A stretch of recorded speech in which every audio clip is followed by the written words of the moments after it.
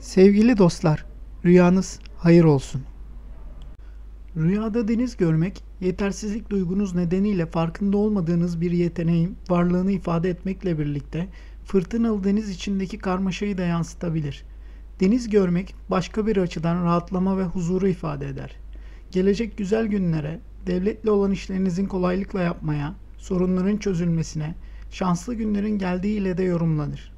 Ayrıca rüyada deniz görmek, tatile çıkmak, refaha ermek, iş hayatında zenginliğe, borçlardan kurtulmaya, maneviyata, tekamüle ve ihtiyaç duyulan bir alanda yardım almak gibi olaylarla da ilişkilidir. Maddi olarak bolluk ve bereketin artmasına, sorunların çözülmesine, çıkılacak yolculuklara, tatile duyulan özleme, duygusal değişimlere, sezgisel derinliğe, huzur ve mutluluğa delalet eder.